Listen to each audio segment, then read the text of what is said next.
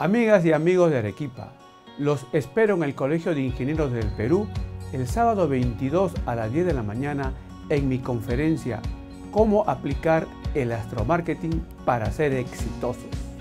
Conocerán los astros que acompañaron los nacimientos de las empresas que son muy importantes en el mundo, que deberíamos de tomar en cuenta especialmente si vamos a construir negocios que queremos que sean exitosos todo el tiempo, especialmente si los vamos a hacer en el mes de julio, que se caracterizará por la ocurrencia de un eclipse, el del 2 de julio, que oscurecerá el Perú y toda América del Sur.